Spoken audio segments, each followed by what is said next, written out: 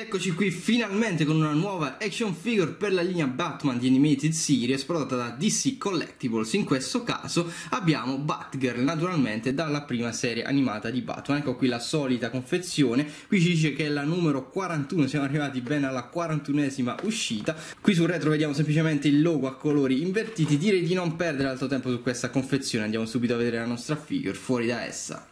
Ed eccoci qui con Batgirl e tutti i suoi accessori fuori dalla confezione, andiamo a vedere la solita base qui con eh, la basetta appunto bianca con il turnaround del personaggio. E poi abbiamo l'asta e finalmente si sono decisi a cambiare anche nelle figure singole la pinza, io devo dire che apprezzo molto questo cambiamento con questa pinza a molla senza ulteriori parti che danno fastidio da dietro.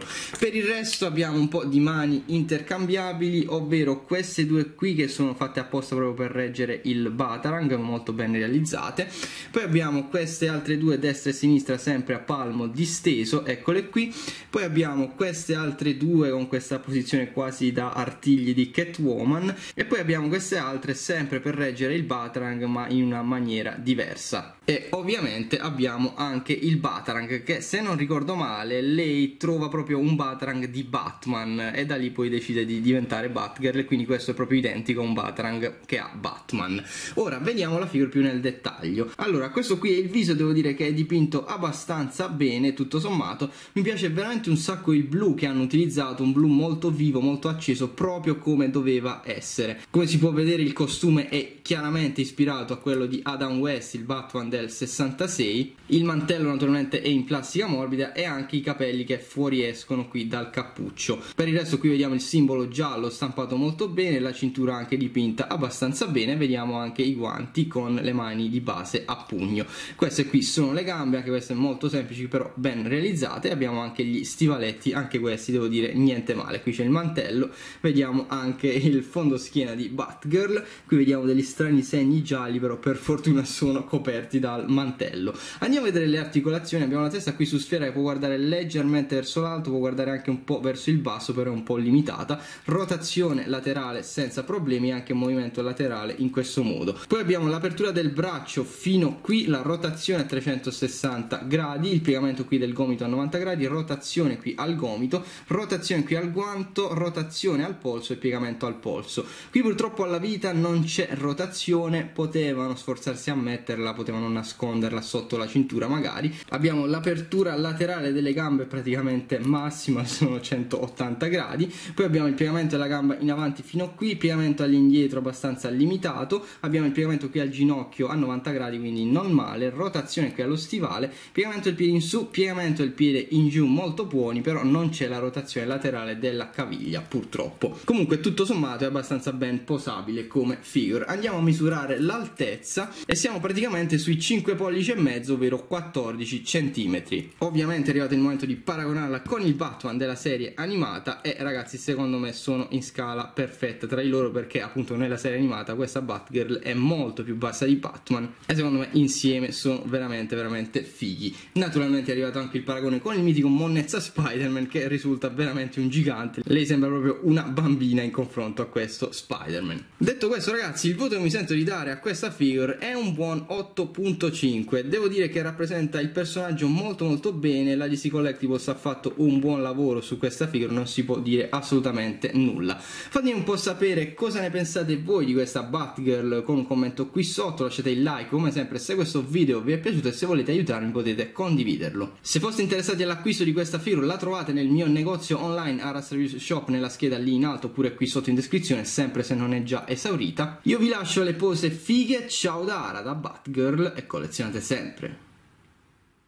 ed eccoci qui con un'altra action figure per la linea DC Collectibles The New Batman Adventures. Abbiamo tra noi Robin Tim Drake, non Dick Grayson appunto dalla seconda serie animata di Batman.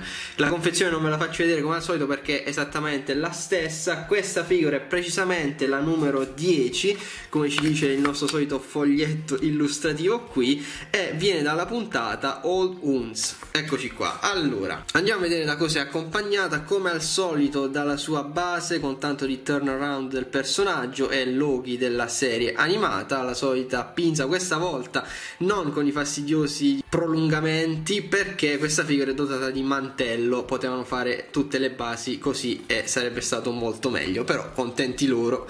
Abbiamo comunque come altri accessori queste splendide manette qui con catena in metallo e queste altre parti invece dipinte in argento e si possono anche usare contro qualche villain magari con le braccia un attimo più sottili, basta semplicemente rimuovere le mani e inserire queste manette. Per il resto abbiamo un po' di mani intercambiabili, ma prima vediamo il piccolo Batarang di cui è dotato, proprio a forma di pipistrello, vedete si intravedono anche le corna. Abbiamo lo spara rampino classico da solo e si può anche rimuovere questa parte finale e poi abbiamo come al solito il rampino nella mano che non è rimovibile. Anche qui la parte finale è rimovibile volendo. Abbiamo inoltre due mani intercambiabili con questa presa appunto per impugnare magari il rampino o le manette o non lo so. E poi abbiamo queste altre due manine intercambiabili con la presa per impugnare il Batarang assolutamente identiche sono destra e sinistra. Ma veniamo al nostro Robin. Eccolo qua. E devo dire che il viso è assolutamente ben realizzato rispecchia molto molto bene quello del personaggio. Solo che se notate su questo rosa c'è un attimo un po' di sporco credo sia un difetto solo della mia figura ogni tanto queste figure arrivano come se avessero combattuto la guerra mondiale per quanto sono sporche però non si sa vabbè sarò capitato male io come al solito comunque ripeto lo sculpt è a dir poco perfetto, i capelli sono fantastici e il viso è anche questo molto ben realizzato. Per il resto anche i dettagli del corpo comunque sono ben riportati. Qui vedete ancora un dettaglio di sporco nero sul painting e per il resto ragazzi le forme sono assolutamente quelle che devono essere, molto semplici come al solito nella serie animata e nella seconda serie sono ancora più semplici e li hanno riportate in forma di figure davvero alla perfezione secondo me. C'è anche il classico mantellino qui in plastica morbida, anche questo comunque ben realizzato e stranamente abbastanza pulito. Vediamo le articolazioni, abbiamo la testa che è su sfera, può guardare leggermente in alto, leggermente in basso, può naturalmente ruotare, può muoversi anche un po' lateralmente in questo modo. Abbiamo questa strana articolazione qui di apertura delle braccia non molto efficace, strana perché? Perché c'è questo rosso che continua sul braccio. Eh, certo, hanno visto che appunto nella serie, vedete, ora uso questa base per farvi vedere, vedete il corpo ha questa strana forma un po' triangolare, quindi è un po' più largo alle spalle, quindi il rosso va un po' sulle spalle. Certo, l'hanno voluto riportare alla perfezione, però secondo me potevano evitare, facevano direttamente le maniche tutte nere, non sarebbe cambiato nulla a nessuno, secondo me. Comunque, per il resto il braccio può anche naturalmente ruotare in avanti e indietro, c'è il piegamento al gomito a 90 gradi, rotazione sempre al gomito, è un attimo brutta da vedere questa articolazione, però non è gravissima come cosa. Abbiamo il piegamento qui al polso e la rotazione al polso. Comunque devo dire che la plastica di questa Fear, come anche delle altre che sono uscite dopo le prime quattro famigerate, è molto migliorata, quindi non c'è c'è nessun problema di rumori strani o di parti che si spezzano. Abbiamo comunque l'articolazione qui alla vita, il piegamento della gamba in avanti abbastanza buono, quasi 90 gradi, naturalmente anche all'indietro, l'apertura laterale, questa volta non troppo brutta da vedere oltre che efficace, forse una delle migliori di tutta la serie fino adesso, il piegamento al ginocchio a 90 gradi, rotazione qui allo stivale, il piegamento del piede in su, il piegamento in giù e la rotazione laterale del piede, quindi ragazzi è una figure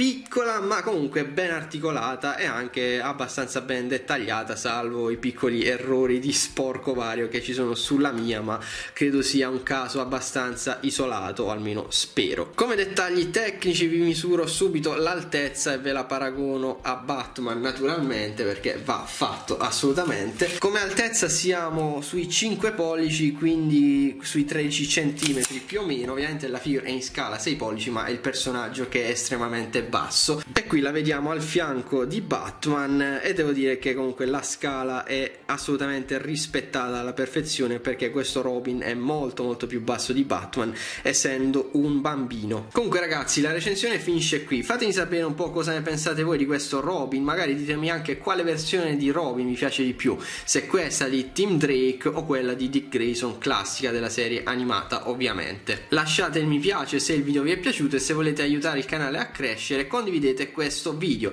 Come sempre vi invito a guardare qui sotto in descrizione dove ci sono tutti i miei social, contatti vari, Facebook, Twitter, gruppi Facebook e naturalmente trovate anche Dragon Legend da cui ho acquistato questa splendida figure. Comunque vi lascio alle pose fighe, noi ci vediamo alla prossima. Ciao da Ara e da Robin, Team Drake e collezionate sempre.